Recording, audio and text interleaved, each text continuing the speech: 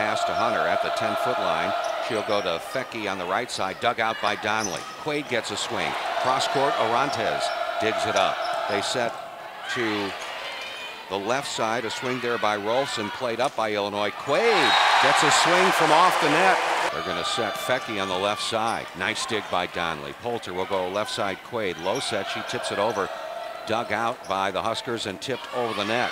Played up by Donnelly. Poulter back set for Stadick. Still a long way to go. 18 serving 24. Allison Palmer from Laguna Beach, California serves. The pass to Hunter. She dumps it over on two. Poulter plays it up. Palmer steps in, bumps set to Crittenden on the right side, and she's Orantes will serve. Pass by Davis. Poulter sets left side. Quade rips one down the line and gets the kill. Ability to make a change uh, on the bench. Albrecht serves again. Welsh the pass. Poulter left side. Strizak. Cross court swing. It goes down. Point Illinois. Kadie Rolfzen serves. Strizak passes. Poulter one-handed set left side for Quade who hit it out of bounds. Andy Malloy will, uh, is in the match to hit in the front row. Foecke goes back to serve.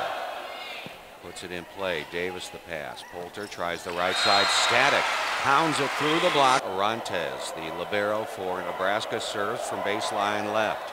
Cross court. Davis passes. Poulter sets left side. Quade oh, just powers one past the block and down. Stadick the pass. Poulter sets left side to Strizak. Off the block, played up by Rolfzen. Set to Amber Rolfzen in the middle. She tips. It's played up by Welsh, and the Illini tip it over the net.